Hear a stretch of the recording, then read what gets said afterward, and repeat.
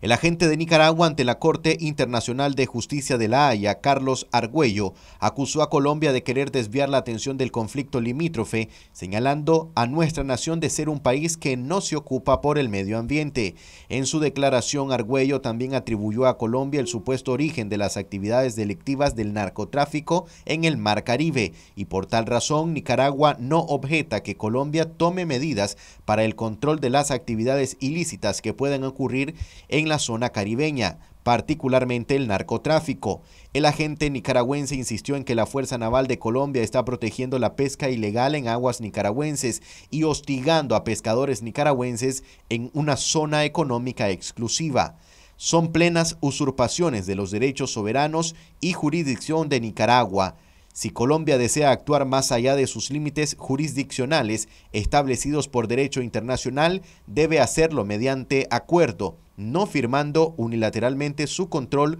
sobre las aguas de los estados vecinos, expuso Argüello. El representante de Nicaragua solicitó a la Corte en primera instancia que se reconozca que Colombia ha incumplido su obligación de respetar zonas marítimas de nuestro país, en base al fallo de la Corte Internacional de Justicia de 2012. Asimismo, que Colombia cese su conducta ilícita en aguas nicaragüenses. Finalmente, nuestro país asegura que Colombia debe indemnizarnos por todos los daños causados por las violaciones de sus obligaciones legales internacionales, incluidos, entre otros, los daños causados por la explotación de los recursos vivos de la zona económica exclusiva de Nicaragua por parte de embarcaciones pesqueras ilegalmente autorizadas por Colombia para operar en esa zona y la pérdida de ingresos ocasionada por la negativa de Colombia a permitir o por su disuasión la pesca de embarcaciones nicaragüenses o embarcaciones de terceros estados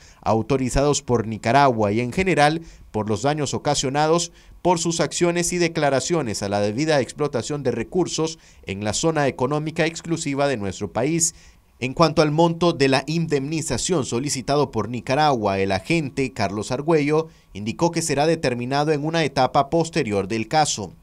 Marcos Medina, Noticias 12.